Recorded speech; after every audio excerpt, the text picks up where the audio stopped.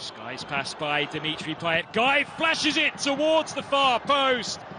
And Marseille now have a three goal cushion in this tie. The crucial, crucial moment here